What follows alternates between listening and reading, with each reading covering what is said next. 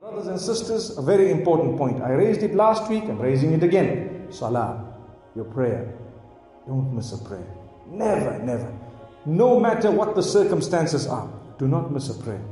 If you miss a prayer from one of these five, wallahi, you have actually swerved away from Allah subhanahu wa ta'ala.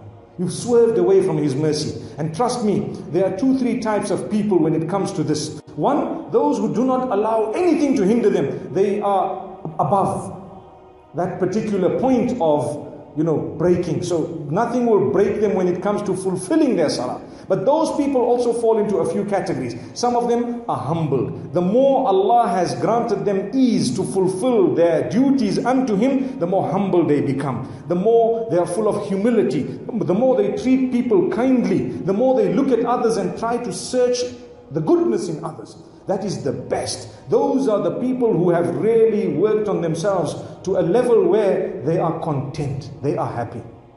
May Allah grant us contentment. Allah promises us, you do good, I'll give you contentment in this world. He didn't say, I give you what you want in this world. But He says, Your hayat will be tayyibah. Your life will be pure. It will be good. You'll be happy. You'll be content.